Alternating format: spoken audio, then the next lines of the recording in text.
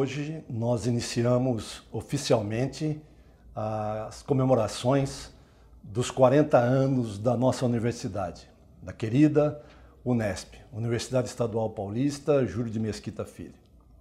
Uma universidade muito nova que tem uma história curta, de pouco tempo, mas de muito sucesso. Ela foi criada num modelo descentralizado, muito diferente do que nós tínhamos na época, é, da junção de 15 institutos isolados de ensino superior que existiam na época, com diferentes histórias, é, numa universidade é, espalhada por todo o interior do estado de São Paulo. Ah, esse modelo que foi muito criticado, inclusive inicialmente, e, e desacreditado, pelo trabalho profícuo da nossa comunidade, docentes, servidores, técnicos administrativos, alunos, fez com que a Unesp se projetasse e passasse de uma universidade não conhecida, desacreditada, para uma universidade reconhecida e hoje muito respeitada. A Unesp é hoje, entre as universidades com idade de até 40 anos, a primeira no Brasil. É, dentre todas as universidades do Brasil, com idades maiores, inclusive, a Unesp é a segunda no país em número de cursos de graduação bem avaliados. É a segunda no país em número de pós-graduação bem avaliados.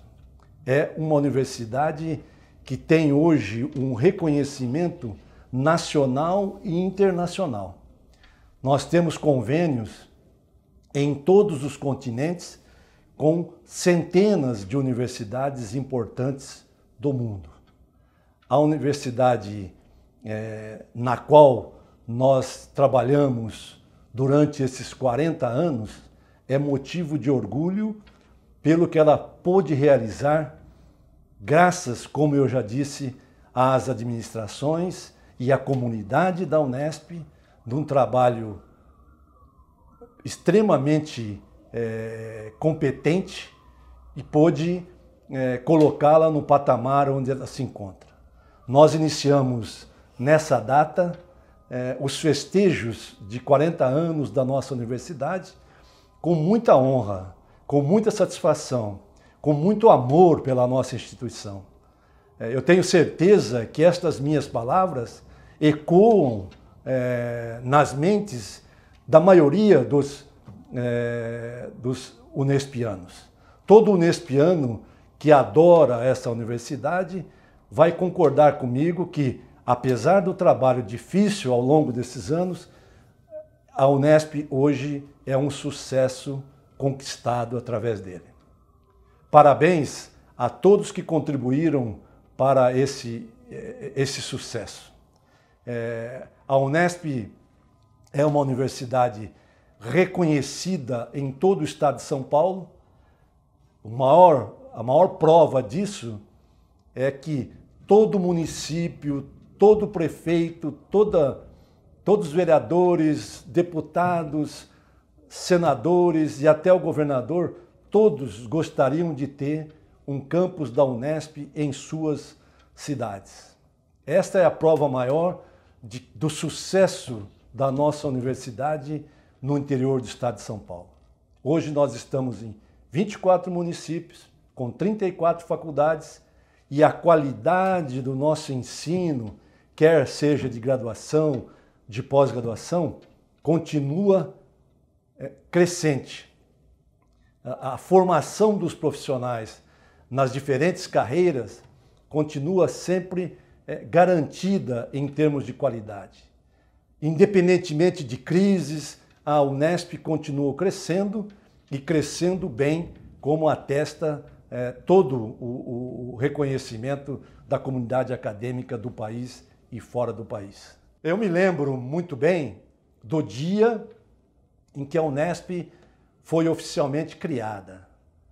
Eu era é, recém-contratado e, e, pude, né, assistir à cerimônia de criação é, da, da nossa universidade. O governador era o, o, o Paulo Egídio Martins, é, que ao colocar é, que a Unesp seria um modelo diferente de universidade, descentralizado, diferente do que nós tínhamos aí e temos até hoje da Unicamp e da USP, é, a Unesp iniciou a sua vida num modelo descentralizado e é, distribuído por todo o estado de São Paulo. Foi é, realmente uma mudança de paradigma dentro da, das características das é, universidades públicas paulistas. É, isso, é, que no momento talvez tenha sido até criticado e não bem entendido, por outro lado, trouxe benefícios muito grandes em termos da inclusão de alunos, é, porque deu a possibilidade de um aluno distante dos grandes centros poderem cursar é, basicamente em sua casa cursos de excelente qualidade que essa universidade oferece, dando é, maior possibilidade para que alunos carentes, participantes de escola pública tenham essa possibilidade. E isso ficou muito aumentado quando a Unesp decidiu com tranquilidade, com respeito, de maneira séria, no seu órgão colegiado máximo, o sistema de cotas, que deverá atingir em 2018 o número o percentual de 50% de alunos da escola pública, sendo que dentro desses 50%, 35% para pretos, pardos e índios. Dessa forma, essa decisão do nosso órgão colegiado máximo trouxe uma inclusão tanto a nível social quanto a nível racial. A Unesp é uma universidade nova, é uma universidade é, ágil, é uma universidade que sabe entender e assimila e vive, entende os problemas relativos à comunidade. A prova é, em conteste disso é o cuidado que nós temos com o nosso programa de permanência estudantil, que nesses últimos anos tem atribuído bolsas para todos os alunos que têm necessidade de receber essas bolsas, que atendem ao, às características de, de carência social. Ah, existe uma preocupação da administração dos nossos órgãos colegiados junto com a coordenadoria de permanência estudantil, no sentido de atender com bolsas, auxílio alimentação, auxílio aluguel, moradias estudantis, restaurantes universitários nas unidades que mais necessitam desse apoio. A universidade, a Unesp, como universidade descentralizada, evidentemente que ela é, tem as dificuldades inerentes. Uma dessas dificuldades sempre foi a logística. É, o espalhamento das nossas unidades, cobrindo todo o estado de São Paulo, faz com que a, a logística para se realizar reuniões, é, de contato entre as pessoas, fique mais difícil do que a universidade centralizada. Outro problema que nós vivenciamos nesses 40 anos foi o problema da comunicação, que hoje está bem resolvida com a, a, o contato à distância, que com qualidade, que nós já temos hoje através de videoconferência, que nós já usamos de maneira rotineira no dia a dia do nosso trabalho. Por outro lado, gostaria de enfatizar que, apesar dessas dificuldades, nós temos um, uma grande facilidade, algo que compensa tudo isso ou seja, a interação que a nossa universidade tem nas diferentes regiões onde ela está, nos diferentes municípios onde ela se encontra, com a participação dos nossos docentes, dos nossos servidores, em projetos importantes de utilidade pública para o município, em, discussões importantes em comissões que analisam é, temas importantes é, para a região e para o Estado e para o país. É, de forma que essa interação com a comunidade proporciona à Unesp levar informações, levar o conhecimento produzido dentro da universidade e, ao mesmo tempo, aprender muito com a comunidade, num processo de retroalimentação constante, em que a universidade ensina, mas também aprende muito. Um dos aspectos importantes dentro desses 40 anos de vida da nossa universidade, sem dúvida nenhuma, foi o estabelecimento da autonomia. A autonomia proporcionou à universidade é, cuidar da sua vida dentro de casa, com corresponsabilidade de todos e decisões tomadas dentro dos seus órgãos colegiados. É, isso é, levou a, a, um desenvolvimento muito grande da nossa universidade, é, porque quem sabe das necessidades da universidade é a própria comunidade da universidade. Um outro aspecto que foi muito importante nesse período, dentre outros, foi o advento do PDI, do Plano de Desenvolvimento Institucional. Por quê? Ele trouxe uma mudança de cultura, em que nós destinamos um recurso para as diferentes áreas e com regras em editais específicos para que as comunidades possam demandar esses recursos serem utilizados nas diferentes unidades com é, a, a mesma condição de igualdade para a busca desses recursos.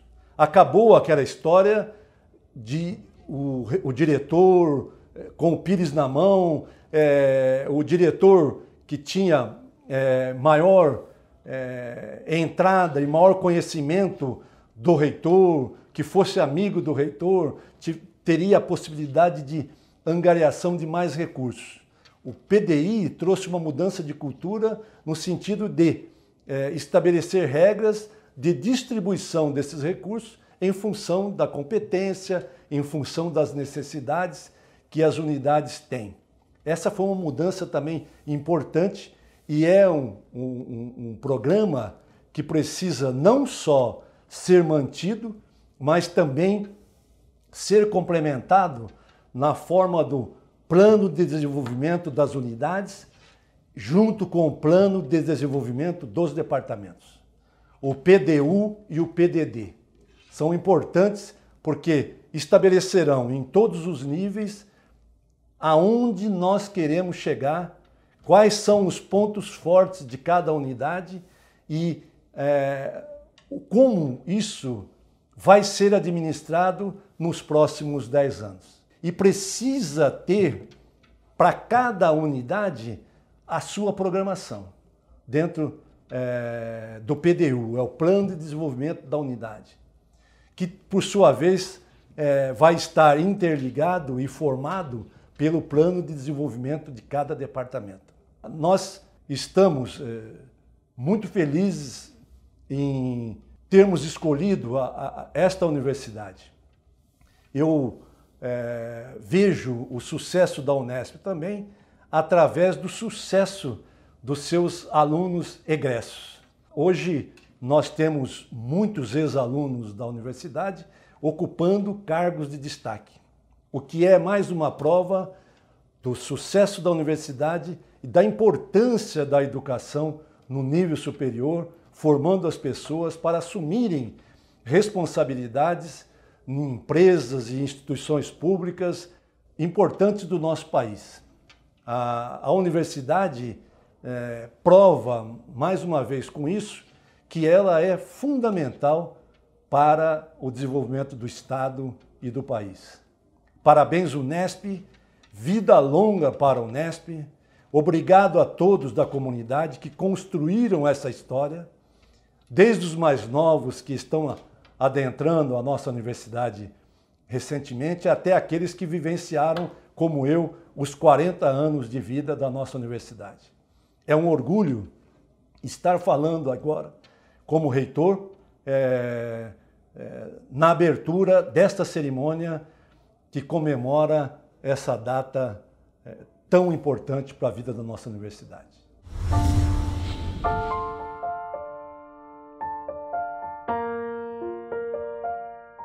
Hoje nós estamos reunidos para comemorar os 40 anos da Unesp. E eu quero dizer para vocês nessa comemoração que eu tenho um enorme orgulho de ser Unesp. E gostaria de que vocês todos sentissem esse mesmo orgulho. Por que eu tenho esse orgulho? Porque eu tive a oportunidade de vivenciar a Unesp desde a sua construção, da toda a sua evolução, o crescimento e os patamares que a nossa instituição vem atingindo. Por que eu estou falando isso? Né? Eu fui aluna de um dos 11 institutos isolados é, que compuseram as primeiras unidades da nossa universidade. E quando eu fui contratada como docente, também foi num desses institutos isolados é, que depois compuseram a nossa universidade. Toda a minha carreira docente eu desenvolvi dentro da Unesp e eu, lembrando assim, gostaria de dizer para vocês que é, eu participei de discussões acaloradas intensas durante a construção, várias etapas de escolha de reitores e como o reitor se institucionalizar na universidade, das incorporações que até hoje se fala sobre isso, incorporação de Bauru, incorporação de Presidente Prudente, incorporação do IFT. Vocês não fazem ideia de como foi a construção né, do, e a, a elaboração do estatuto da universidade, discussões intensas dentro é, de toda a, a, instituição. Também participei do, é, do Conselho Universitário, já, aí, já como gestora da universidade, da construção dos nossos é, campos experimentais. E é uma coisa que hoje a gente já pode dizer, desses campos experimentais, quatro hoje já se transformaram em unidades consolidadas. Também participei como gestora da construção e da discussão sobre a implantação de 11 cursos de engenharia, usando o recurso que era do Hospital das Clínicas, que passou para a Secretaria da, da Saúde, esse recurso ficando dentro da universidade, a implantação dos 11 cursos é, de engenharia que estão aí ainda não completos. Eu acho que com tudo isso, nós que hoje estamos na, na gestão da universidade aprendemos uma lição de que em ampliação e incorporação é preciso ter recurso novo e perene. Sem isso, fica muito difícil, porque a conta vai ficando é, para depois ser paga. Bem, mas como é e o que é esta universidade que é, completa 40 anos hoje? Ela é uma universidade, claro, nós todos sabemos, ela é pública, ela é estadual paulista, ela é multicampus. Hoje nós somos 34 unidades universitárias em 24 cidades do estado de São Paulo. E se nós construirmos um raio ou círculos, né, com raio de 100 quilômetros em cada uma das nossas cidades que compõem, onde temos unidades da Unesp, vocês vão ver que existe uma cobertura de todo o estado de São Paulo. Ou seja, é uma universidade realmente estadual paulista, como o seu nome diz. Essa universidade hoje ela tem mais de 50 mil alunos, a maior parte deles hoje são alunos de graduação, mas nós já temos 15 mil alunos é, ou mais de, de pós-graduação. É, temos hoje, somos a segunda maior universidade desse país em número de doutores formados, em número de programas de pós-graduação. Então, é, ontem, ainda, ontem não, a, a questão de um mês mais ou menos, nós tivemos uma reunião de conselho universitário onde foi colocado que já tínhamos completado mais de mil teses defendidas na Unesp neste ano de 2015. E a Unesp já completou mais de 40 mil defesas de tese entre mestrado e doutorado. É, a Unesp vem crescendo muito nos rankings internacionais, às custas especialmente do nosso trabalho, da nossa dedicação, seja a dedicação dos nossos alunos, dos nossos professores, dos nossos técnicos administrativos, a Unesp vem crescendo muito nos rankings internacionais. Vejam, só para dizer para vocês, dentro do ranking da QS geral, é, a última é, avaliação que temos, nós éramos entre, estávamos entre o limite de 421 a 430. Se considerarmos só o grupo dos BRICS, a Unesp já é a 27. Na América Latina, nós somos a oitava. No Brasil, a quarta. E quando se considerou dentro do QS as universidades com menos de 50 anos, a Unesp é a segunda. A primeira é a Unicamp, a segunda é a Unesp. Então vejam que é, nós temos que nos orgulhar muito disto. Mais ainda, veja, a universidade ela vem nos últimos anos tendo um trabalho muito intenso em relação à inclusão social.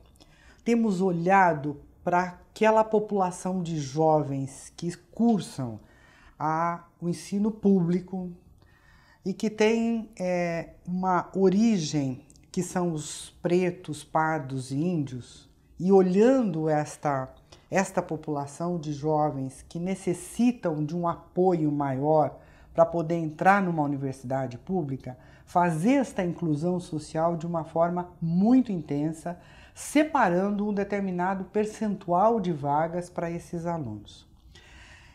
E, mais ainda, algo que a gente se orgulha muito, mas os nossos alunos são hoje professores de cursinhos é, destinados a fortalecer o conhecimento desses alunos da escola pública, com resultados fantásticos é, para a entrada desses alunos em universidades públicas e em universidades privadas também.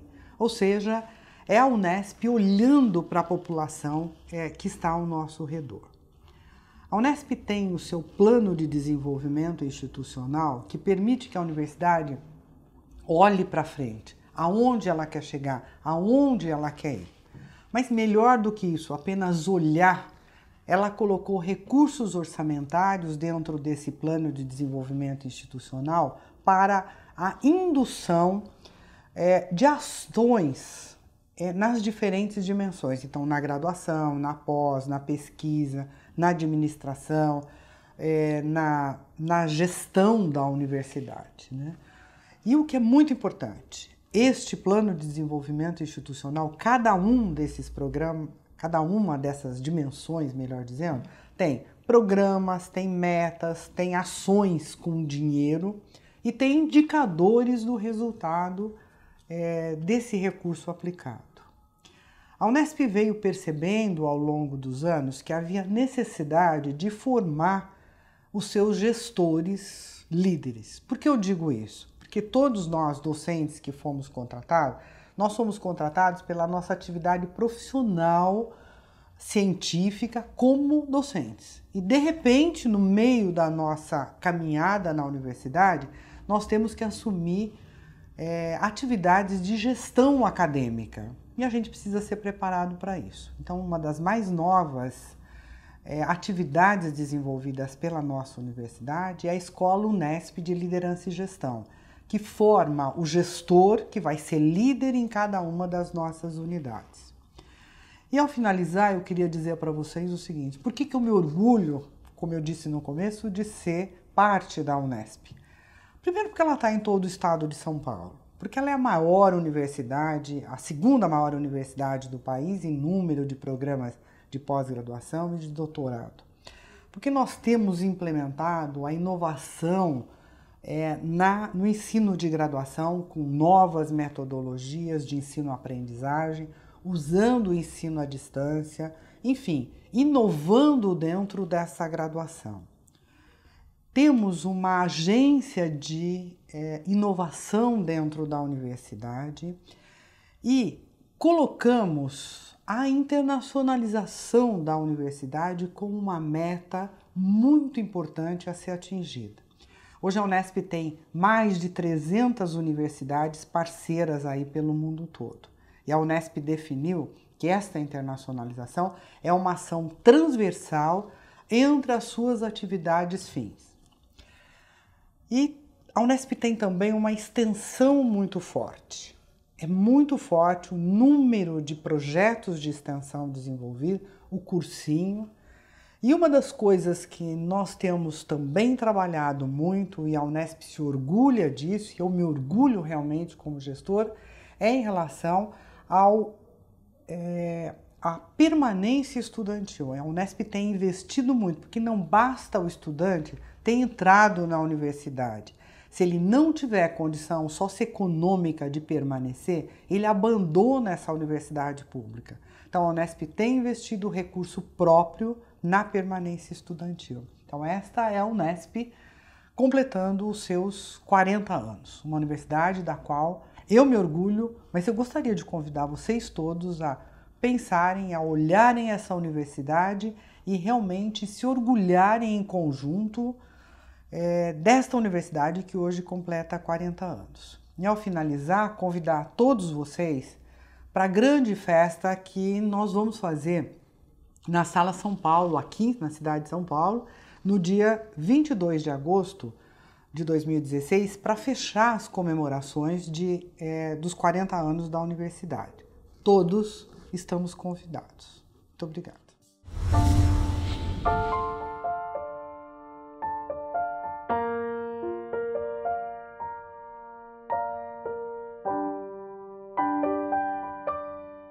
Bom, 40 anos é um bom período, né? Eu acho que a Unesp tem motivos de sobra para considerar que o seu projeto de constituição de uma universidade de qualidade pública, com produção científica e ensino superior para todo o estado de São Paulo, está muito bem, é, uma promessa bastante bem cumprida.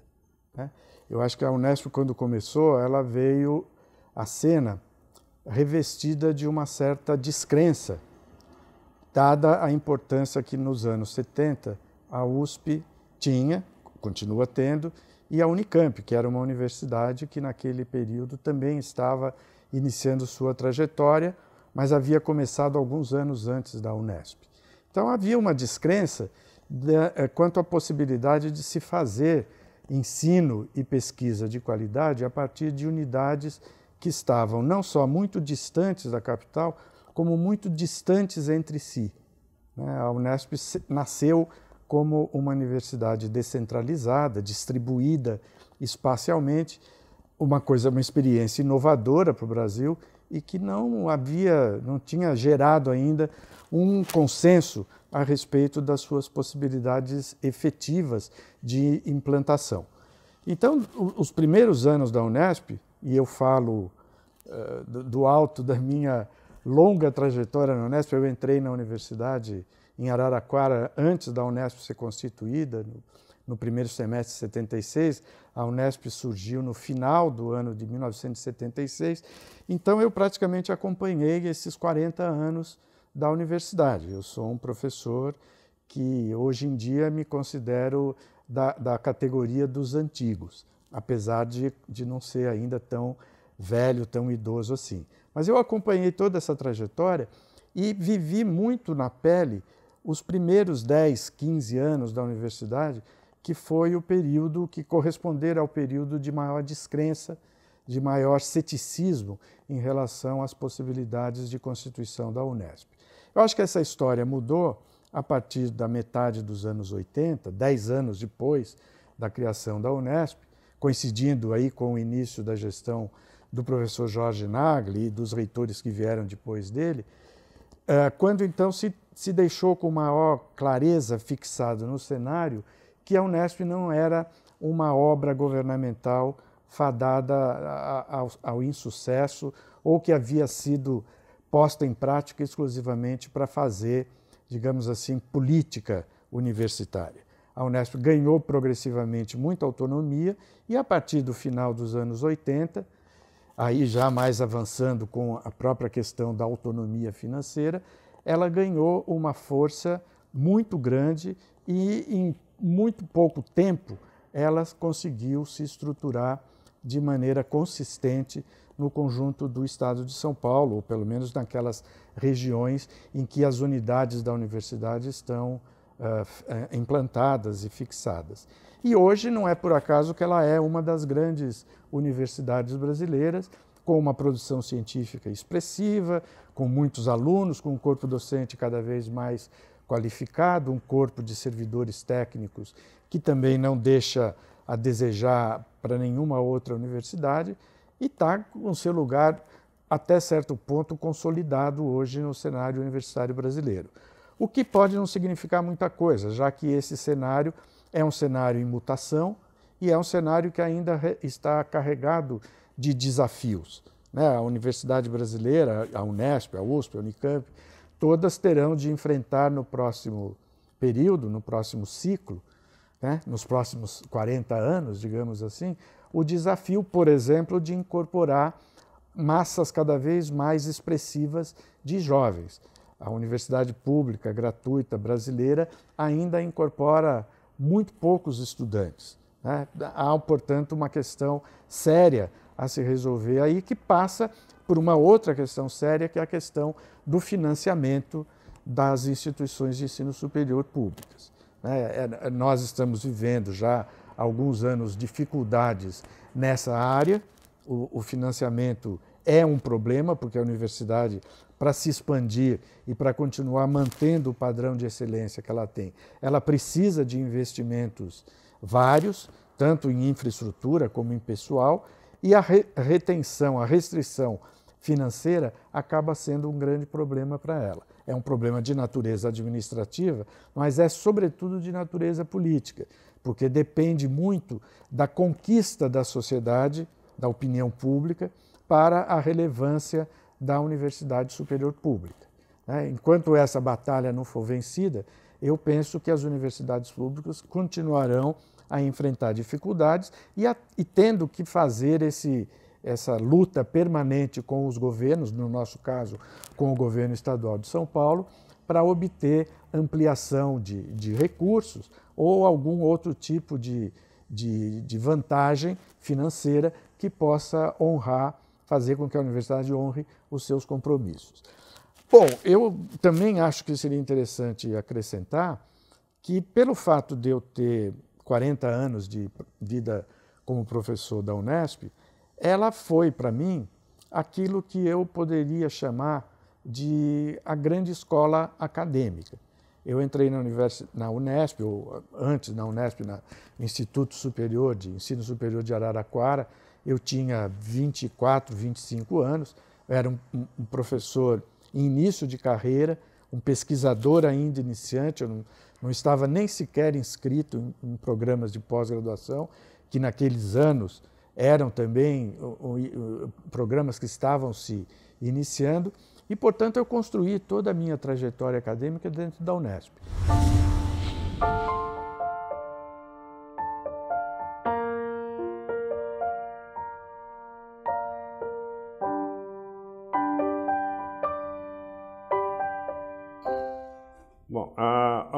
UNESP está completando 40 anos de suas atividades. E, em verdade, a história da Unesp deveria ser considerada numa perspectiva eh, maior, porque há campos da Unesp que foram constituídos no final dos anos 50 e no início dos anos 60, na época que o governo estadual, e particularmente o governo de Jânio Quadros, eh, teve a iniciativa de interiorizar o ensino público universitário de qualidade. Eh, isso já está completando 60 anos ou mais. Mas há algumas unidades da Unesp que são quase centenárias, anteriores ainda a esta fase de expansão do ensino público. Portanto, a Unesp pode ser considerada uma universidade já é, consolidada no seio do sistema universitário brasileiro e paulista. A Unesp é constituída de muitos campos, é, quase 30, acho hoje, e isso traz benefícios e traz é, problemas. Mas o que importa aqui é sinalizar que a Unesp, mesmo sendo a mais recente das três universidades públicas estaduais, ela desenvolveu é, uma competência significativa em algumas áreas e, e é reconhecida como tal, tanto no estado de São Paulo, quanto no Brasil e quanto internacionalmente. Agora, eu diria que num balanço desses 40 anos, nós podemos dizer que avançou-se bastante, mas é, pode-se e deve-se avançar muito mais. O, a universidade reflete, em parte, a sociedade, e a sociedade brasileira é uma sociedade convulsionada, é uma sociedade onde convivem ilhas de riqueza e de desenvolvimento e grandes eh, camadas eh, que vivem na pobreza. Eh, a Unesp é uma universidade e eu acho que ela deveria fortalecer e nesses 40 anos também foi um debate permanente esse, ela deveria fortalecer as suas competências acadêmicas e de pesquisa. Hoje em dia, o mundo universitário brasileiro e internacional é um mundo muito competitivo. É, as agências e as instituições conexas ao ensino, elas insistem muito nos elementos de produtividade. Eu não estaria tão preocupado com a produtividade em si, mas com a produtividade que tem consequências em termos de benefícios sociais e em termos de qualidade eu acho que nesse aspecto a Unesp realmente deve dar saltos ainda. Há núcleos de grande competência na Unesp. Eu diria, inclusive, que há núcleos nem sempre muito reconhecidos. Mas nós temos, só para utilizar as referências administrativas que são sempre consideradas, nós temos programas de pós-graduação de excelência, universidades que são referências internacionais nos seus campos, como, por exemplo, o Instituto de Química da Unesp de Araraquara. Então, temos cursos eh, de grande qualidade na área de, eh, de letras, na área de história, na área de, na área de agronomia, na área de veterinária.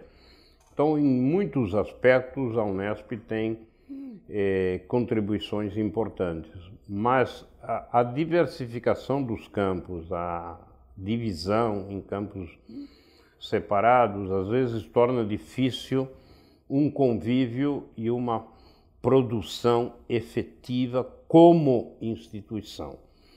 Esses aspectos creio que deveriam ser melhorados. A internacionalização, que hoje é uma palavra-chave para muitas coisas, ela não vai depender tanto da capacidade de ligação com o mundo exterior, mas ela vai ligar, vai resultar da sua capacidade intelectual, da produção de seus conhecimentos. A produção de seus conhecimentos vai aumentar automaticamente, ou quase automaticamente, as suas ligações com o mundo externo e a própria Unesp será procurada pelo mundo externo, seja no Brasil, e pelo mundo externo em nível internacional, em nível latino-americano e em nível mundial. Isso vem se demonstrando já em algumas áreas de conhecimento, como já citei no início, aonde a qualidade destes, eh, desta produção, destes programas, das investigações que são feitas é reconhecida.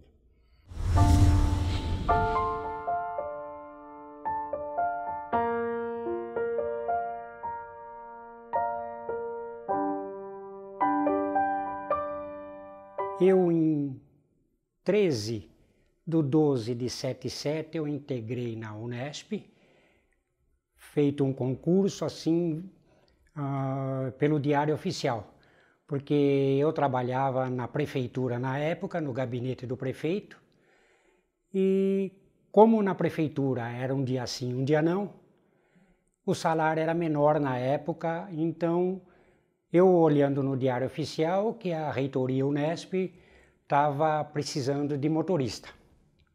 Eu prestei concurso, fui aprovado, depois me colocaram no esquema da, da, da Unesp, iniciei na reitoria. Na época era o primeiro reitor nosso, foi o Luiz Ferreira Martins, e o vice-reitor Armando Otávio Ramos. E iniciei com a chefe da assessoria jurídica, que era a Sandra, a doutora Sandra Juliane Miranda. Aí eu fiquei um pouco com ela, um, alguns meses, e fui requisitado para o gabinete pelo doutor Armando, porque o Jorge, que era motorista dele, na época a religião dele não permitia trabalhar fora de horário de final de semana. Então ele pediu à doutora Sandra que me cedesse para poder viajar com ele, que ele morava em Botucatu, que ele era de lá. E ele acabou gostando do meu trabalho. Então me requisitou diretamente para o gabinete e colocou o Jorge com a doutora Sandra. E dali para cá só deu gabinete. Saía um reitor, entrava outro, indicava, então fica com o Antônio, porque não vai deixar a desejar. E graças a Deus, eu dei a minha vida aqui pela reitoria todos esses anos, me aposentei com dignidade. Fui convidado também depois pelo professor Castilho, para a editora nossa da Unesp, e acabei ainda ficando quatro anos com ele no gabinete. Em 2000 e 2002, aí eu parei de vez. Aí só descansar, só para a família mesmo. E eu vivi na Unesp uh, com muita dignidade. Viajei muito. É como às vezes eu até brincava com o pessoal. O que um piloto tem de voo de avião, eu tenho de estrada na reitoria da Unesp. Todas as, unidades nossas. Uh, conheci fora de São Paulo outras, outros estados, Rio de Janeiro, uh, Curitiba, Belo Horizonte, cheguei a conhecer através da nossa editora. E agora aqui, reitoria mesmo, com os reitores, gabinete, só foi mais mesmo as unidades nossas fora da, da, da sede, né? Entendeu? Então, eu muito feliz nessa minha trajetória, Unesp, e agora torço para o meu filho também, que está na nossa uh, Fundo Nesp, como motorista também. É, porque a minha família toda, praticamente, a gente iniciou, eu fui o último na prefeitura, mas a minha família toda foi, foi é, municipal. Pai, sogro, tio, primo, então já veio, então veio de berço essa minha profissão.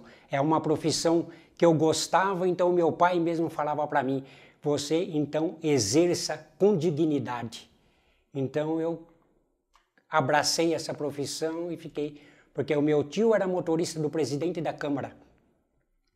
Um primo meu era do, do Tribunal de Contas. Outro meu primo era motorista do secretário de obras. O meu pai era chefe da mecânica da Bresser de máquinas pesadas, tratores. E meu sogro era encarregado de obras da Regional Santana. E de lá para cá, então, eu gostava, falei, pai, eu quero ser motorista. Então, aí iniciei na prefeitura, no gabinete do prefeito, e depois eu vim para a reitoria, aposentei na reitoria, e então eu faço parte dessa família. curiosidade teve muitas, entendeu? Então, às vezes a gente, eh, assim, eh, ia viajar, principalmente o, o professor Arthur Macedo, que foi o nosso reitor também, e a gente, às vezes, nos campos para viagem, a gente ia para poder pernoitar, acabava voltando, era meia-noite, saía de tal lugar, e ele falava para os diretores dos campos: não, não, dorme, já está tudo programado para dormir. Ele falou: não, eu confio no meu motorista e nós vamos contando piadinha até São Paulo. Mas não chegava a contar piada. No primeiro trecho de, de rodovia ele já dormia e eu vinha sozinho na saudade. Entendeu? E quando chegava eu falava: nossa, piadinha que nós contamos até agora, né, doutor? E o senhor dormindo e eu aqui no volante sozinho.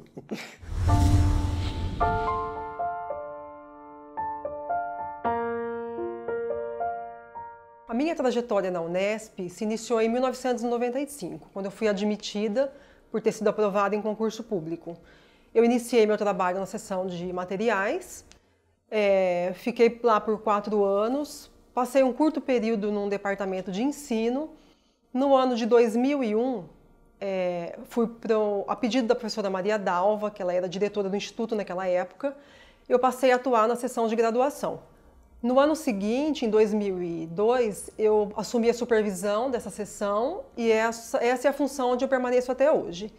Desde o meu início na universidade, eu nunca, nunca me satisfez ficar trabalhando somente dentro da sessão onde eu estava. Né? Por esse motivo, eu sempre atuei em várias comissões, grupos de trabalho, eu colaborava em organização de eventos, é, fui membro da CIPA, da Congregação, Associação de Servidores. É, atualmente eu sou membro da Comissão Permanente de Ensino e da Congregação novamente. É, atuei também até em Olimpíada de Matemática, vários trabalhos com a Fundação VUNESP. É, por essa minha característica de sempre estar buscando alguma coisa, eu aproveitei todas as oportunidades que a Unesp me proporcionou. Todos os cursos que ela me ofereceu, treinamentos, tudo que foi permitido que eu fizesse, eu fiz. Além dos treinamentos e cursos que a Unesp me ofereceu, eu fiz alguns por conta própria, que eu achava que eram necessários né, no período. É, quando o número de intercâmbios na universidade começou a aumentar muito, eu fui fazer um curso de inglês, fiz, estudei inglês três anos, fiz curso de liderança, fiz curso de oratória, até chegar num curso de administração pública. Todos esses cursos que eu fiz, eu tenho certeza hoje que eles foram determinantes para minha atuação, para minha contribuição para a universidade. Além desses 20 anos que eu passei já na Unesp, quase 21, é, nesse tempo meu envolvimento não foi só profissional. É, eu tenho histórico familiar na Unesp também. Eu tenho meu irmão formado na Unesp, tenho outros familiares próximos formados na Unesp, trabalham atualmente na Unesp. É, o meu marido eu conheci assim que eu entrei na Unesp também. Então, eu posso dizer com certeza que a Unesp é, também faz parte da minha família. Quando eu fui convidada para fazer esse depoimento, fiz uma retrospectiva desses meus 20 anos na Unesp, quase 21 já. E eu fiquei pensando na forma como a gente trabalhava em 95, 96, na seção de materiais, por exemplo.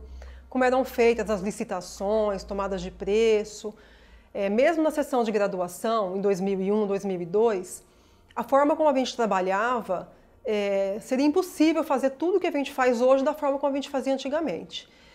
É, com a evolução tecnológica que a Unesp passou, é, isso permitiu que a gente consiga fazer tudo o que a gente fazia antes e ainda cumprir com as outras atribuições que foram acrescentadas ao longo desse tempo. Durante esses 20 anos, eu pude presenciar também um outro lado da expansão da universidade, que foi a expansão das unidades e dos cursos. Por volta de 2003, 2004, no campus de São José do Rio Preto, nós tivemos é, a criação de três novos cursos, que foi um incremento de quase 30% no nosso corpo discente. Isso, essa época foi de um impacto muito grande em toda a universidade e de muitas incertezas também. Tivemos a criação dos, das unidades experimentais, é, unidades diferenciadas, né? Hoje isso tudo já está consolidado. É, temos também, hoje, mais recentemente, curso, novos cursos de engenharia, é, o campus de São João da Boa Vista, que é o mais novo campus da Unesp. É, outro tipo de expansão que eu diria também que eu achei bem importante foi a transformação de várias sessões administrativas da Unesp em sessões técnicas. A minha maior contribuição para a Unesp, eu acredito que tenha sido a minha atuação é, bem efetiva no desenvolvimento e na implantação de dois sistemas institucionais, que é o CISGRAD, o Sistema de Graduação, e o sistema de emissão e registro de diplomas.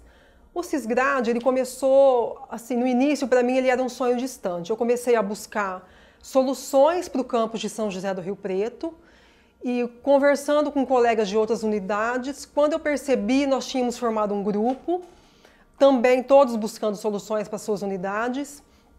E com o envolvimento da Prograde, da Secretaria-Geral nesse processo, quando a gente percebeu, nós já tínhamos um grupo, era um grupo pequeno, mas já tínhamos um grupo trabalhando incansavelmente nesse sistema. Nós não tínhamos fim de semana, não tínhamos feriado. E depois de mais ou menos dois anos, três anos de trabalho, nós conseguimos concretizar esse sonho. Hoje o Cisgrade é um sistema implantado em 100% das unidades da Unesp. Paralelamente a esse trabalho, é, formou-se um outro grupo é, mais é, fixo na reitoria da Unesp, que é do grupo de sistema de emissão e registro de diplomas. E mais uma vez, a pedido da professora Maria Dalva, eu passei a atuar nesse outro grupo.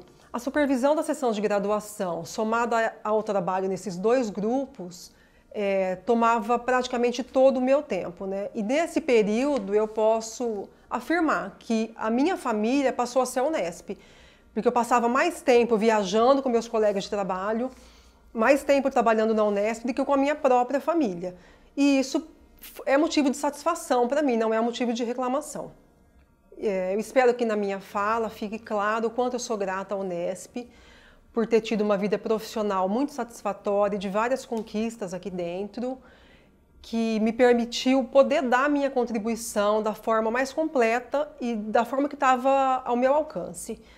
Eu tenho que agradecer de uma forma especial à Secretaria-Geral, à Prograde, às diretorias da minha unidade, aos meus colegas mais próximos que me permitiram poder sair do meu campo, sair de dentro da minha sala para poder dar essa contribuição. Para o futuro, eu espero continuar tendo oportunidades de contribuir para a Unesp. É, espero que a Unesp continue crescendo. E eu não falo de números aqui, eu falo da contribuição para o país com a formação de tantos profissionais competentes, da extensão de serviço, das pesquisas em todas as áreas inimagináveis. É, a Unesp é uma instituição jovem, mas ela já é muito experiente, ela é reconhecida nacional e internacionalmente. É, não importa a colocação da Unesp no mais diversos rankings existentes, né? importa que a gente tenha a visão de futuro, que a Unesp não se acanhe diante de crises ou de expectativas que venham a ocorrer no, no futuro. É, que a gente tenha consciência de gestão desses recursos todos da Unesp, recursos humanos, financeiros, que a gente tenha consciência da nossa responsabilidade, porque somos nós que fazemos a Unesp. A Unesp quem faz sou eu e é você. Então, que a gente possa continuar tendo orgulho dela, dos 40 anos que se passaram e de todos os anos mais que virão.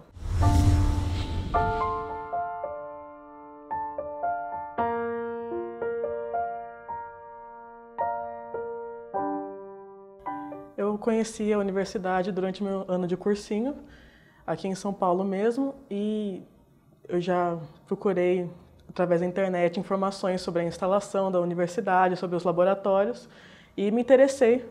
Desde então, quis estudar na universidade.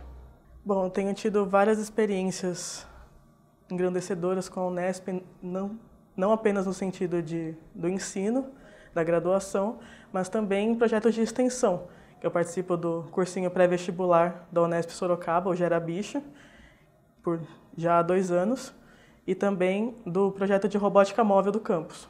É, são várias experiências de relação interpessoal que eu nunca havia tido antes, que é lidar com diferentes pontos de vista, até porque é, no cursinho, por exemplo, não são apenas alunos de engenharia de controle e automação que participam, então são pessoas de outros cursos também, no caso de engenharia ambiental, que também tem no campus. e nós precisamos lidar com a administração do projeto, toda a parte administrativa e com diferentes pontos de vista também. Uma competição latino-americana de robótica, LARC, ela acontece sempre todos os anos e sempre nós participamos também na categoria, nós o Campo de Sorocaba participamos na categoria Fast Logistics, que utilizando os robôs da empresa Festo, chamados robotinos. E basicamente a prova ela busca simular um ambiente de chão de fábrica, em que você tem peças que precisam ser levadas de um lugar para outro, cumprindo determinados objetivos, é, através de uma determinada lógica que você desenvolve através da programação do robô. E no caso, o, em 2015, essa competição teve lugar em Uberlândia, em Minas Gerais, e nós fomos com uma delegação com um time misto da Unesp Sorocaba com o Senai Sorocaba e conseguimos conquistar o primeiro lugar aí da competição. Acho que é uma experiência muito boa no sentido de amadurecimento também da, das escolhas profissionais, porque é um outro tipo de contato. Não é mais teórico aquilo que a gente tem na parte de ensino da universidade. Então é muito importante a gente ter também contato com a extensão, um pouco da fora da área mais teórica do curso também. Bom, eu aprecio bastante o caráter é, descentralizado da Unesp, primeiramente, porque acho importante ter essa, essa presença em, em todo o estado, não apenas nas, nas cidades maiores. E também admiro bastante o caráter extensionista que isso pode trazer para a universidade, porque você tendo uma abrangência maior, isso traz a possibilidade de você ter projetos que realmente interferem em diferentes lugares, em diferencialidades. O campus de Sorocaba ele acabou de ser consolidado, na verdade, quando eu entrei ainda era um campus experimental e ele tem pouco mais de 10 anos e tem uma ótima estrutura física no quesito de laboratórios, funcionários também sempre muito atenciosos quanto a isso e a gente tem os desafios relacionados a, a essa consolidação recente ainda, mas esperamos superá-los logo. O próprio cursinho é, é, o dia a dia de superação, porque nós fazemos toda administração.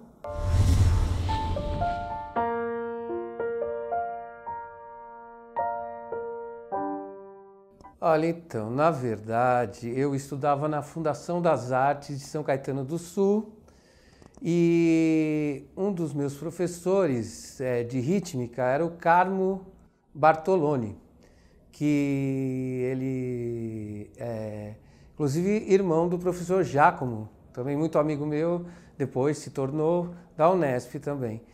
E aí o, o Carmo notou assim que eu tinha uma, um talento, uma inclinação grande para compor, assim, como ele e outros professores da fundação, e eles ficaram me incentivando a fazer uma faculdade de música, de composição musical, né?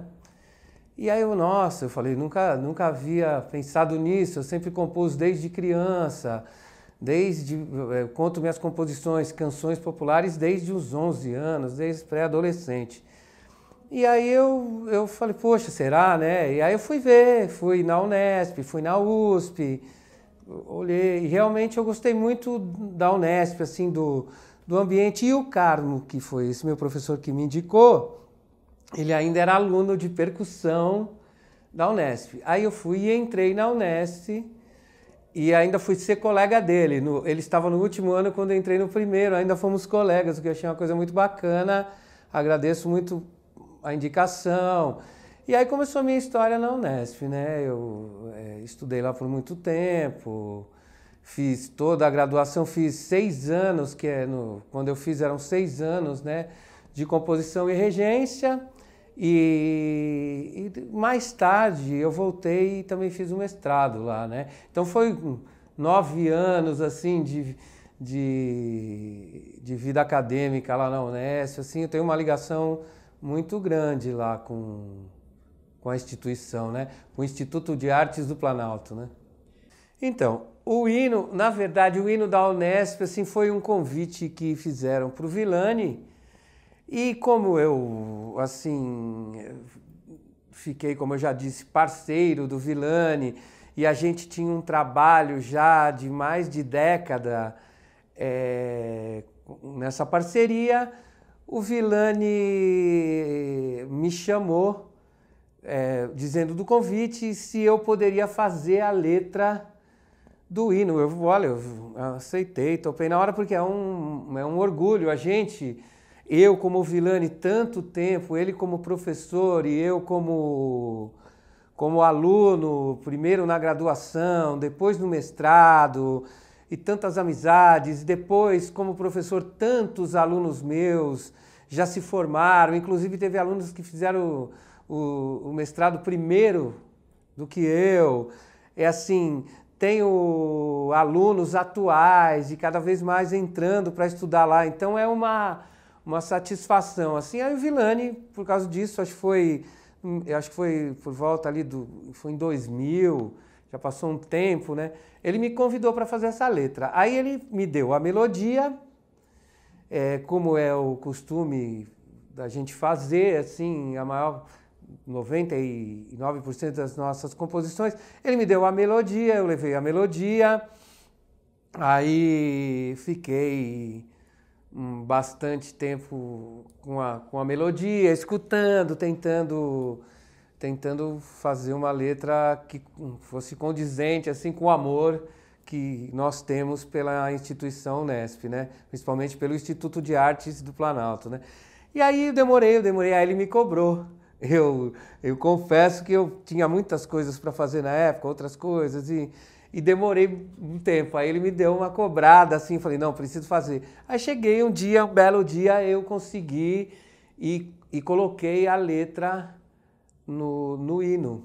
Aí nós, ele me chamou na casa dele, como a gente mora em bairros próximos, eu fui na casa dele, e aí nós cantamos o hino, ele tocou, ele gostou muito, a gente ficou ficou muito feliz assim, né? E ele principalmente, eu também, com a possibilidade de a gente ficar, né? Como um jogador de futebol que fica no seu time, como campeão no nome da, da sua agremiação, a gente ficar na história, a possibilidade de nós ficarmos para sempre na história da Unesp que que tanto tempo é, assim fez parte da, das nossas vidas.